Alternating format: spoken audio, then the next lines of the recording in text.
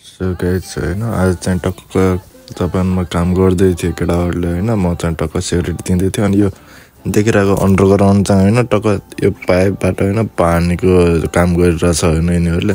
अनि जापानमा चाहिँ यसरी पानी अन्डरग्राउन्डमा यसरी हालेर होइन टक्क घर घरमा पुऱ्याइरहेको हुन्छ अनि तातो चिसो पानी सब आउँछ भित्र होइन अनि ग्यास पनि यसकै भित्र हुन्छ अनि काम गर्ने सामानहरू यस्तो यस्तो राखिरहेको थियो हल्का बनाइदिएको भिडियो है त I'll. Bye bye. See you guys.